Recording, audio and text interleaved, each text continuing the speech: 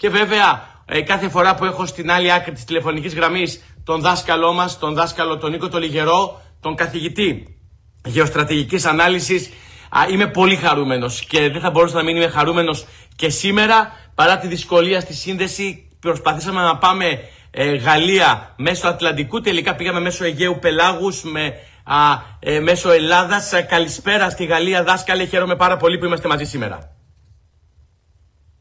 Και εγώ το χαίρομαι και χαίρομαι επίσης που τα καταφέραμε με όλες αυτές τις εμπλοκές. Νομίζω ότι ήταν δάκτυλο ξένων δυνάμεων, να το πούμε έτσι. Ε, ακούγεται πολύ τις τελευταίες μέρες. Δάσκαλε, πολύ πολύ καλησπέρα λοιπόν. Πώς είστε καταρχάς; Ε, μια χαρά, μια χαρά.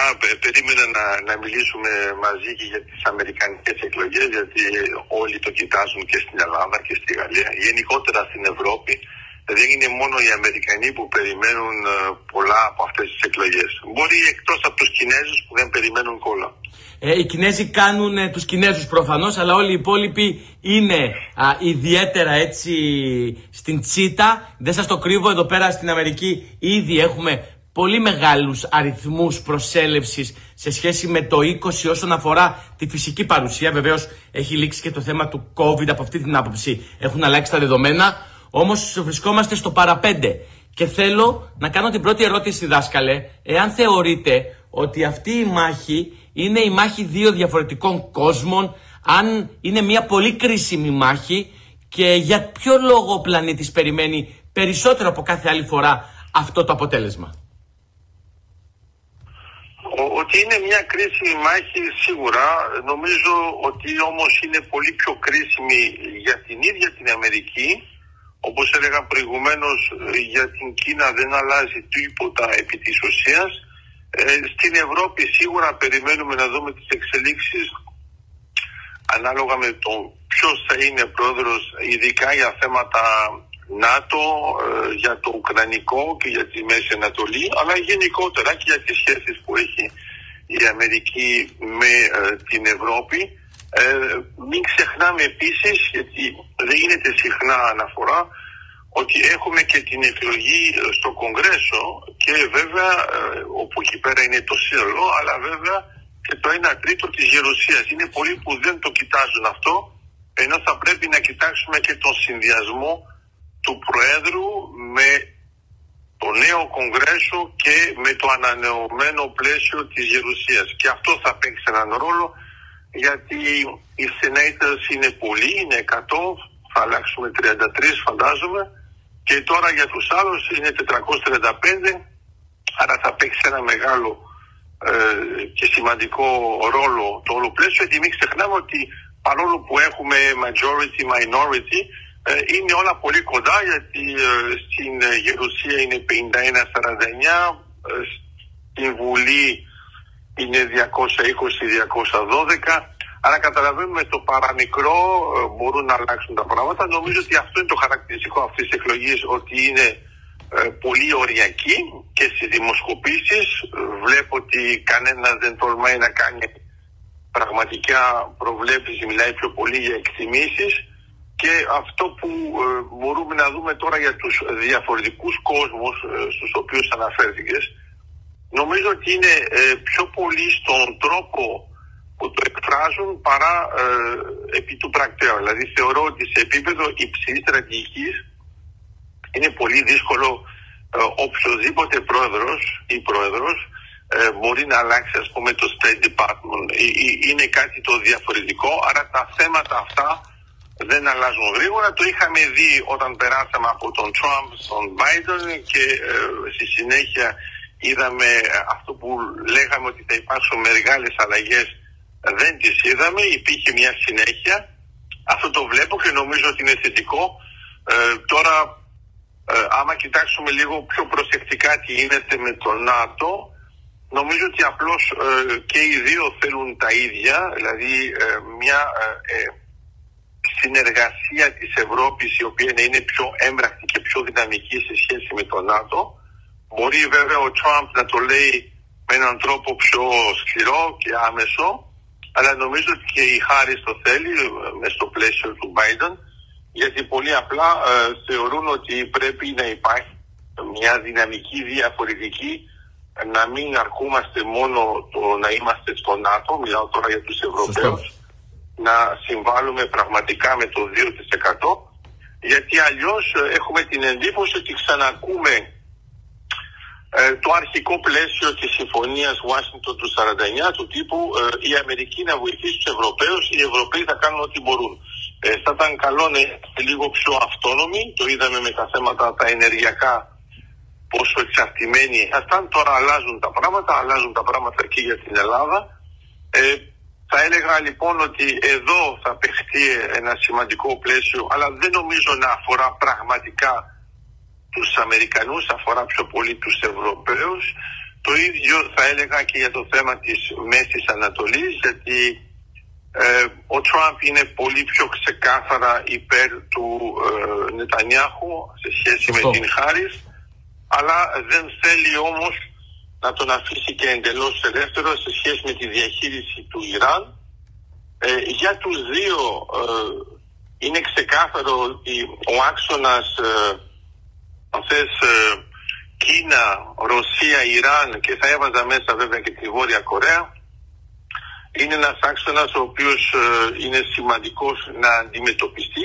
Και μην ξεχνάμε τώρα ειδικά για τους Αμερικανούς ότι βλέπουν ότι υπάρχει αυτή η μεγάλη αντιπαράθεση με την Κίνα. Δεν είναι πια κάτι που είναι μόνο ε, οικονομικό, είναι καθαρά στρατηγικό, βλέπουν τα πράγματα στον ειρηνικό με έναν άλλον τρόπο και αν υπάρχουν χώρες όπως είναι η Ευρώπη που ανησυχούν για τα αποτελέσματα είναι βέβαια και οι χώρες της Άπου Ανατολής με ε, την Νότια Κορέα, την Ιαπωνία, ε, την Ταϊβάν και βέβαια τις Φιλιππίνες και τη Σιγκαπούρη. Άρα ε, όλοι περιμένουν αυτό. Ε, επίσης, αν θες να το ολοκληρώσουμε αυτόν τον τρόπο, δεν θα έχουμε το αποτέλεσμα στις 5 του μηνός θα έχει ουρά, θα πρέπει να περιμένουμε να μετρήσουν τα πάντα γιατί όταν είναι τόσο οριακό ε, σίγουρα θα υπάρχει μια καθυστέρηση και θα υπάρχουν βέβαια και ενστάσεις, αυτό το ξέρουμε από τώρα ότι ήδη θα έχουμε πολλούς ειδικούς που θα κοιτάξουν ε, όλα τα δεδομένα. Επίσης ε, υπενθυμίζω τώρα στους Έλληνες ακροατές και όχι σε σένα ότι ε, στην Αμερική όταν η διαφορά είναι κοντά στο 1% υπάρχει ε, κατευθείαν μια ε, μέτρηση που ξαναγίνεται, η καταμέτρηση ξαναγίνεται αυτόματα χωρίς να ζητάει κανένας τίποτα. Δεν είναι πράγματα που είναι γνωστά στην Ελλάδα, αλλά για την Αμερική είναι σημαντικό και νομίζω το είχαμε δει και με τις προηγούμενες εκλογές ότι όταν είναι όντως οριακός έχουμε ε, τέτοιες καταμετρήσεις εκ νέου. Είναι πολύ έτσι, σημαντικά αυτά τα οποία λέμε και θα τα πάρω ένα-ένα. Καταρχάς, βεβαίως είναι πολύ σημαντικό να το τονίζουμε και το τονίζουμε από εδώ πέρα ότι δεν είναι απλά το ποιος θα κερδίσει α, την Προεδρία, δεν είναι απλά το ποιος θα φτάσει τις 270 ε, ψήφους στο α, σώμα των εκλεκτόρων, στο κολέγιο των εκλεκτόρων, αλλά το να κερδίσεις την Προεδρία και να χάσεις τα δύο σώματα, για παράδειγμα, γιατί και αυτό έχει συμβεί στην ιστορία, δηλαδή να χάσεις τη Γερουσία και τη Βουλή, σου δένει τα χέρια, οπότε είναι μια πύριος νίκη. Ε, είναι πολύ σημαντικό. Σωστά. σωστά. Ακριβώς, αυτή τη στιγμή να πούμε ότι τα δύο σώματα είναι μοιρασμένα. Ε, έχουν, ε, το ένα κόμμα έχει την Γερουσία και το άλλο έχει την Βουλή. Οπότε καταλαβαίνει κανείς ότι εδώ παίζονται όλα γιατί είναι πολύ λεπτές ισορροπίες. Έχουμε ανακατανομή ε, και θα μπορούσε εύκολα να γίνει το ανάποδο. Φυσικά, φυσικά, φυσικά. Δηλαδή εννοώ ότι να περάσουμε στη Βουλή στο άλλο κόμμα και στη Γερουσία στο άλλο κόμμα. Με τα δεδομένα που Έτσι. έχουμε προς το παρόν. Έτσι. Μιλώντας με αρκετό κόσμο, δάσκαλε, δεν σας κρύβω ότι η εικόνα που υπάρχει είναι ότι η Γερουσία ε, φαίνεται ότι θα αλλάξει χέρια. Η Βουλή είναι το μεγάλο ερωτηματικό. Τουλάχιστον μιλώντας με τους πολιτικούς και από τα δύο κόμματα υπάρχει μεγάλη ανησυχία γιατί έχουμε νέες περιφέρειες Έχουμε ανακατανομή α, λόγω του σένσους α, κάποιων περιφερειών, οπότε αλλάζουν κάποια δεδομένα. Σίγουρα ε, υπάρχει μεγάλη κινητοποίηση ε, και βέβαια πρέπει να πούμε ότι α, υπάρχουν, αν θέλετε, όσο πλησιάζει η ώρα εκείνη, ε, ανησυχίες ακόμα και για το εκλογικό σύστημα. Και δεν σας κρύβω ότι ε, πάρα πολλά ακούν τα αυτιά μας, βλέπουμε ε, και θέλω και ένα σχόλιο σας. Η Αμερική, δάσκαλε, είναι μια χώρα η οποία για πολλές δεκαετίες στέλνει παρατηρητές σε άλλες χώρες για να διαφυλάξει την νομιμότητα της εκλογικής διαδικασίας. Και φτάνουμε σήμερα, χθες είχα τον Γκάστον Μπιλιράκη στον αέρα, είχα και την Νικόλ Μαγιωτάκη προχθές. Και οι δύο μου εξέφρασαν ακριβώς το ίδιο, ότι ανησυχούν. Και ανησυχούν γιατί. Γιατί ε, δυστυχώς ακόμα και το ανώτατο δικαστήριο αρνείται να αποδεχτεί ότι δεν μπορεί να υπάρξει ψηφοφορία χωρίς ε, ταυτότητα. Υπάρχουν 9 πολιτείες στις οποίες μπορείς να ψηφίσεις χωρίς ταυτότητα. Ε, υπάρχουν καταγγελίες, υπάρχει μια γενικότερα καχυποψία. Θέλω ένα σχόλιο σας. Γιατί αυτό το μπάχαλο και το χάος, δάσκαλε; Ε, Δημήτρη μου, θα το έχουμε πάντα στην Αμερική, γιατί πολύ απλά από τη στιγμή που υπάρχουν διαφορετικές πολιτείες και όταν τα πράγματα είναι πολύ ωριακά, μην ξεχνάμε ότι οι αμερικανικές εκλογές εξής είναι και ένα show. Είναι επίσης και ένα πλαίσιο προπαγάνδας. Δηλαδή ακούμε τώρα διάφορα, ε, ειδικά για τα swing states, ότι ο, ο καθένας νικάει με ένα ποσοστό πιο μεγάλο από τον άλλον ενώ δεν έχουμε πραγματικά δεδομένα γιατί ξέρουμε ότι αυτά τα πράγματα είναι ε, πολύ οριακά κατά συνέπεια ο καθένας πιστεύει ότι ανακοινώνοντας ότι ε, νικάει εξασφαλίζει ένα πλαίσιο θετικό από την άλλη έχουμε το πρόβλημα της νοθείας το είχαμε ήδη και το 2020, το θέμα της αναγνώρισης της ψηφοφορίας και αυτό είναι ένα πρόβλημα. Γιατί μην ξεχνάμε τα προβλήματα που είχαμε πριν τέσσερα χρόνια. Ε, μπήκαμε και στο πλαίσιο επίσης ε, του impeachment. Άρα είχαμε πολλά προβλήματα. Δεν, δεν θα έλεγα ότι είναι κάτι το καινούριο και να σου πω την αλήθεια δεν είναι κάτι που απασχολεί γιατί είναι μέσα στο παιχνίδι. Ε, από τη στιγμή που έχουμε να κάνουμε με μια δημοκρατική χώρα η οποία έχει αυτό το μέγεθος, γιατί ε, πολύ συχνά συγκρίνουμε τα σύγκριτα, ε, εκτός βέβαια αν θεωρήσουμε ότι η Ινδία είναι όντως δημοκρατική χώρα, είναι από τις μεγαλύτερες ε, χώρες που υπάρχουν στον κόσμο, ε, το γεγονός ότι υπάρχει ψηφοφορία με αλληλογραφία, το γεγονός ότι ε, πολιτείες έχουν διαφορετικό καθεστώς για το θέμα της ταυτότητας, ε, το γεγονός ότι έχουμε 7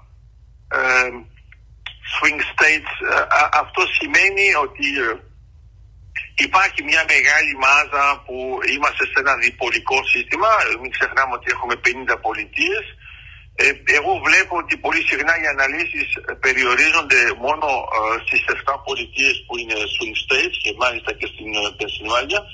Ε, είναι κάπως ακραίο γιατί αυτό σημαίνει πρακτικά ότι όταν βλέπω τη διαφορά ας πούμε στο Senate και βλέπουμε ότι είμαστε μόνο τώρα ε, στο 51-49 και το 51-49 για να είμαστε συγκεκριμένοι οι δημοκρατικοί έχουν 47 και έχουν και 4 ανεξάρτητους. Δηλαδή όλα αυτά είναι πάρα πολύ οριακά και από την άλλη πλευρά πάλι ε, μην ξεχνάμε ότι στους 435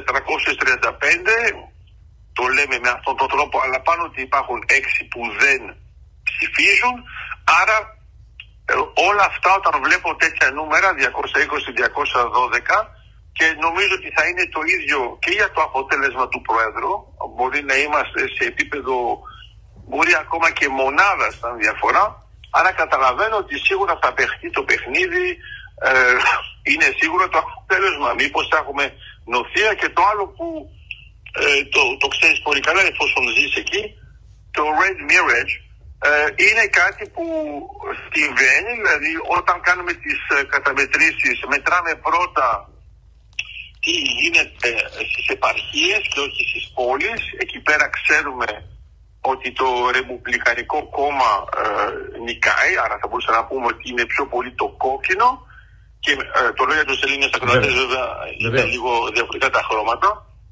Ε, και μετά έρχεται το μπλε που έρχεται από τις πόλεις και γι' αυτό έχουμε κάθε φορά την εντύπωση ότι έγινε μια μεγάλη αλλαγή. Ε, ακόμα και αυτοί που είναι οι πιο κριτικοί και οι πιο ειλικρινείς θεωρούν ότι κάτι έγινε.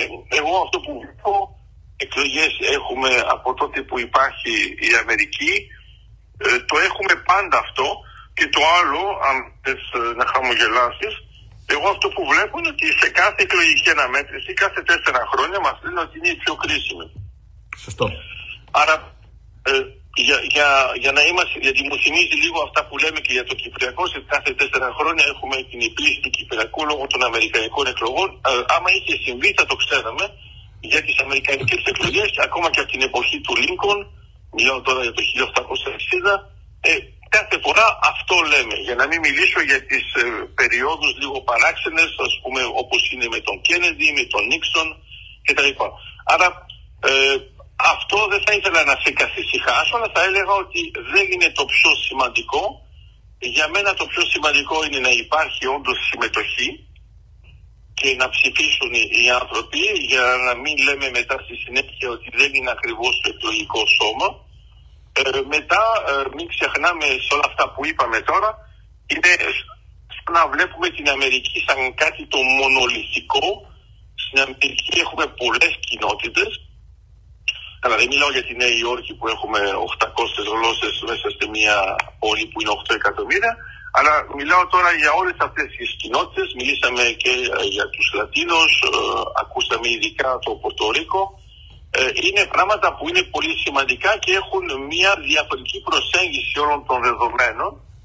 Άρα μπορεί εμείς ας πούμε στην Ευρώπη να κοιτάζουμε τι γίνεται ε, στις ευρωπαϊκές εκλογές όπου ο καθένας ψηφίζει με το κράτος και λέμε πώς είναι δυνατόν να καταφέρουμε να βγάλουμε ένα συμπέρασμα δεν πρέπει να ξεχνάμε ότι η Αμερική είναι με 50 πολιτείες ε, με έναν πληθυσμό πολύ πιο διαφορετικό και ε, Λατίνος ε, και μαύρους και λευκούς και ε, Ασιάτες ε, που είναι όλοι αυτοί Αμερικανοί. Μην ξεχνάμε το melting pot. Κατά συνέπεια ε, όταν μπαίνουμε σε μια διαδικασία οριακή, εγώ αυτό που βλέπω είναι ότι ξαφνικά όλοι ασχολούνται με όλες ε, τις κοινότητες, τις μειονότητες κτλ.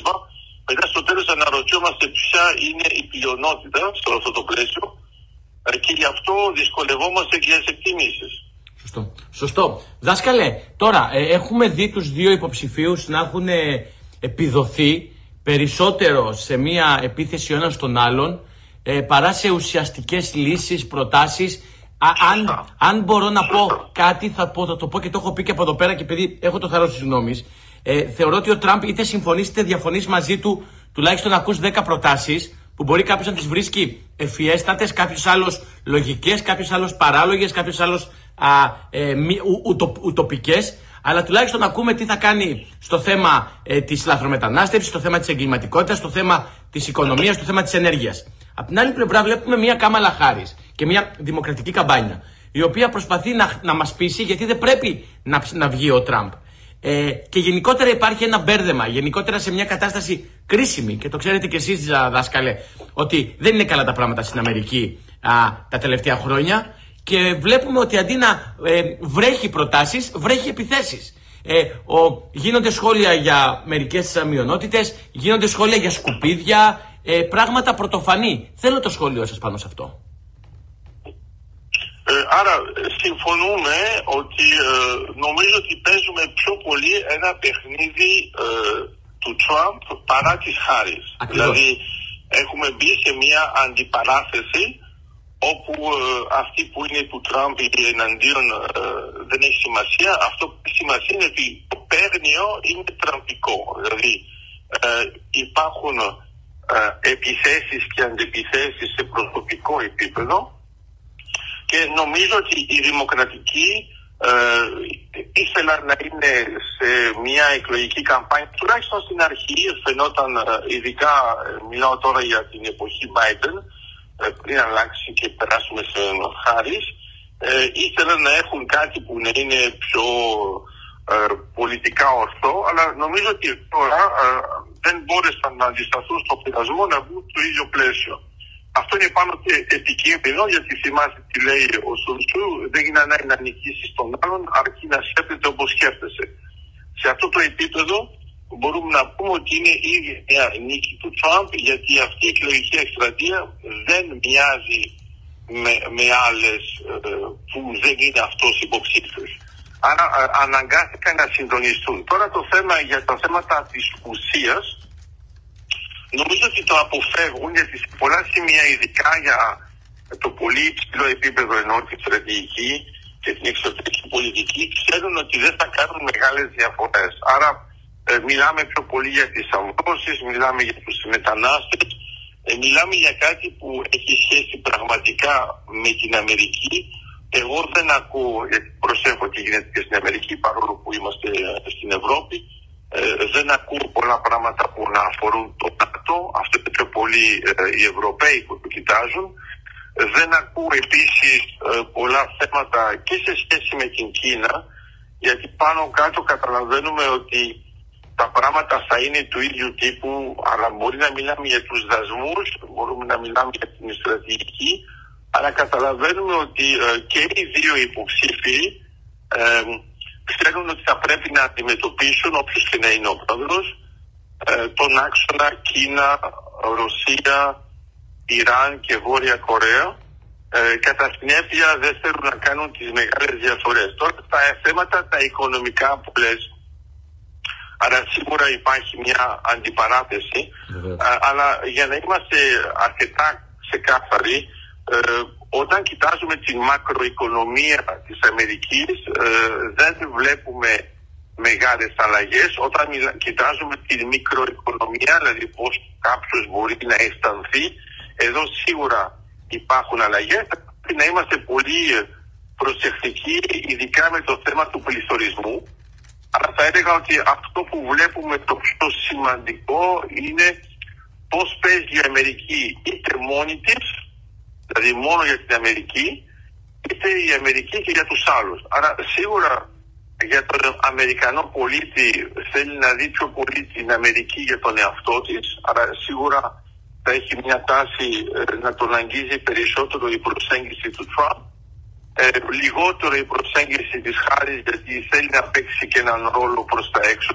Ταυτόχρονα όμως δεν πρέπει να ξεχνάμε ότι οι ίδιοι Αμερικανοί ε, δεν είναι ότι είναι ε, απομονωμένοι με το έξω γιατί βέβαια υπάρχουν στοιχεία μέσα στην Ευρώπη που έχουν σχέση όχι μόνο με την Ευρώπη, μιλάω τώρα ειδικά για τους Ιρλανδούς, τους Άγγλους, τους Γάλλους, τους ε, ε, Ισπανούς, τους Πορτογάλους και μετά από την άλλη πλευρά σε σχέση με το Μεξικό, με το Πορτορίκο κτλ.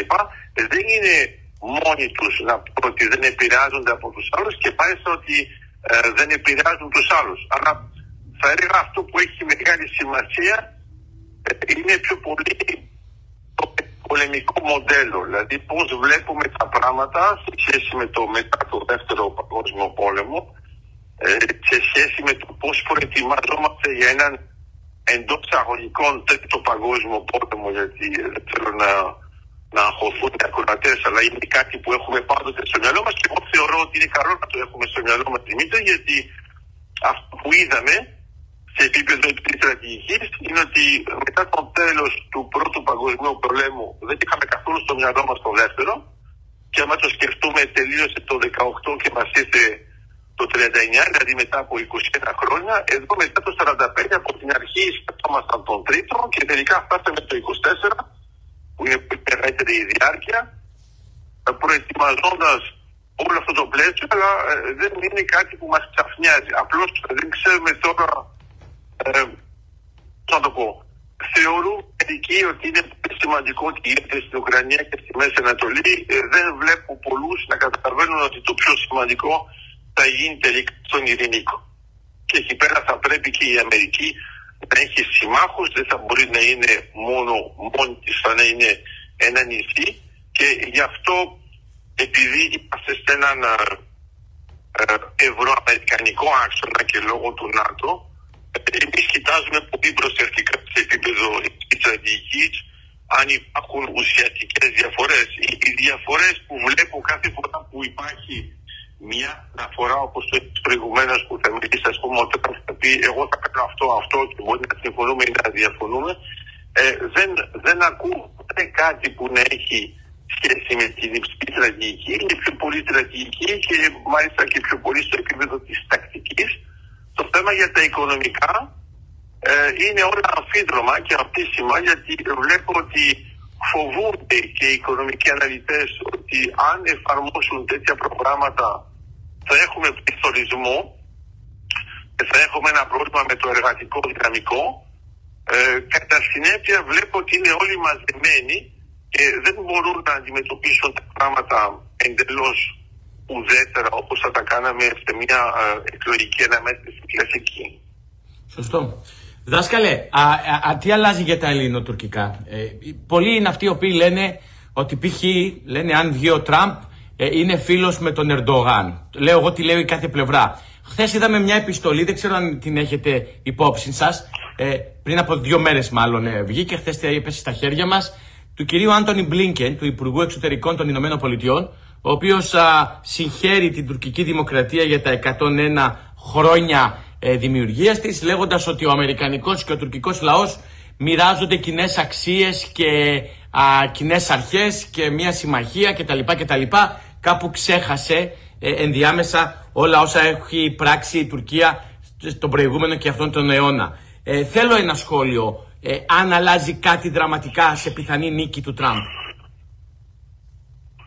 Ε, κοίτα, ε, το πρώτο πράγμα ε, σε σχέση με τον Μπλίκεν, εφόσον είναι αυτή η αναφορά, ε, επειδή έχει σχέση με την επέτειο της Τουρκίας, κάθε φορά περιμένουμε κάτι τέτοιο. Τώρα, οι Αμερικανοί και οι Τούρκοι έχουν κοινές αξίες, εδώ φαντάζομαι ότι είναι παίρνημα επιστημονική φαντασία. Κοινές αρχές σίγουρα έχουν, αλλά το θέμα είναι ότι σε αυτές τις κοινές αρχές δεν καταφέραμε να δούμε ούτε τα F-35 και είδαμε και τα F-400. Άρα η Τουρκία προσπαθεί να κάνει ό,τι θέλει αρχικά, δεν τηρεί και κάνει ό,τι μπορεί και η Αμερική δεν θέλει να πετάξει την Τουρκία εντελώς προς την Ρωσία ή ακόμα και την Κίνα ή βέβαια το Ιράν κατά συνέπεια κρατάει μια μορφή ισορροπιών. Εγώ όμως αυτό που βλέπω σε σχέση με αυτό που είπες και με την επιστολή, ε, δεν δίνω πολύ μεγάλη σημασία σε αυτές τις επιστολές. Κοιτάζω πιο πολύ τι γίνεται στην πράξη. Είναι να το θέσω αλλιώς, γιατί ξέρω ότι σας αρέσουν αυτές οι επιλογές. Προτιμάς να πάρεις μια τέτοια επιστολή με την Ελλάδα και να μην έχουμε 35 ή να μην έχουμε την επιστολή και να έχουμε F35. Προφανώς να έχουμε και την επιστολή και τα F35. Δεν, δεν γίνεται. Δεν υπάρχει.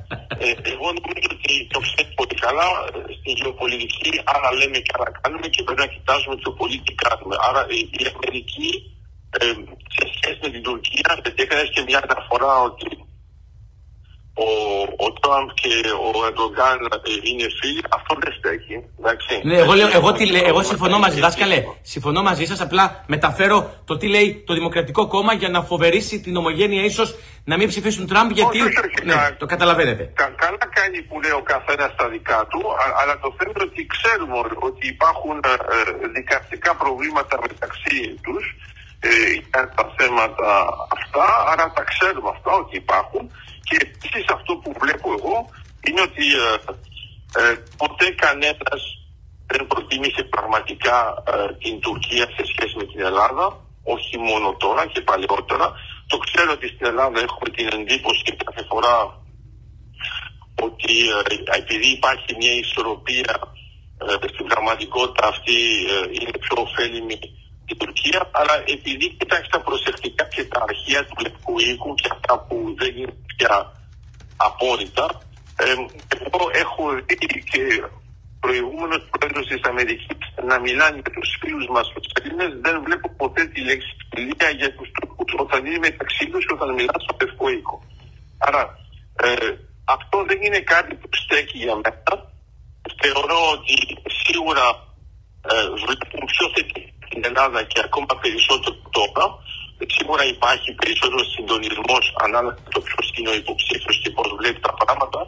Αλλά ξέρεις, περιμέναμε και το ανάλογο. Θεωρούσαμε ότι όταν θα έρθει ο Biden θα έχουμε προβλήματα. Ε, εγώ δεν τα είδα τα προβλήματα.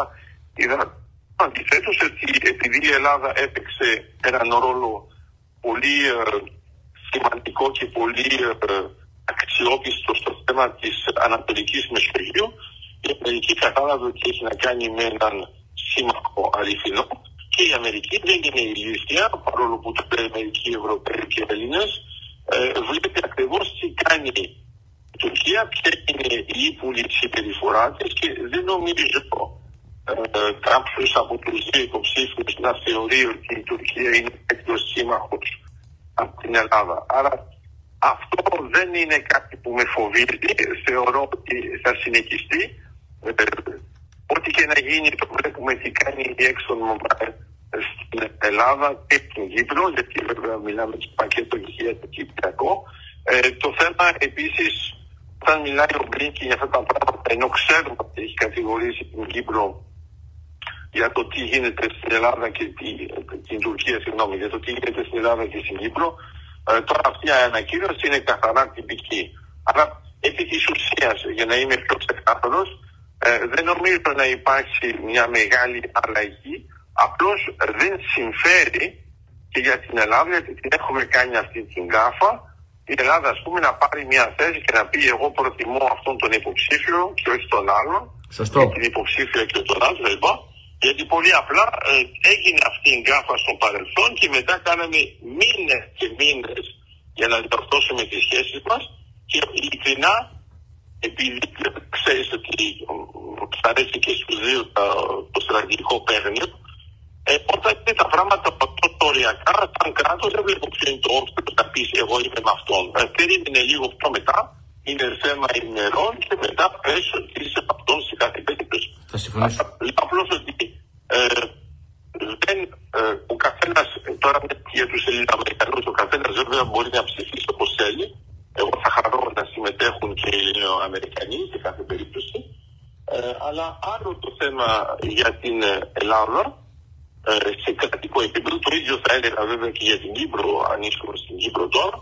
Ε, πρέπει να είμαστε πιο μαζεμένοι, να μην εκφραζόμαστε έτσι απόλυτα, ειδικά όταν βλέπουμε ότι ε, επί του πρακτέου όταν τα πράγματα είναι τόσο ορικά δεν υπάρχει κανένα όφελο εκτό να κερδίσει ποντάροντα με έναν τρόπο παράλογο. Σωστό. Σωστό. Δάσκαλε, θα σας ευχαριστήσω θερμά θα έχουμε την ευκαιρία να τα πούμε και την άλλη εβδομάδα μετά τις εκλογές.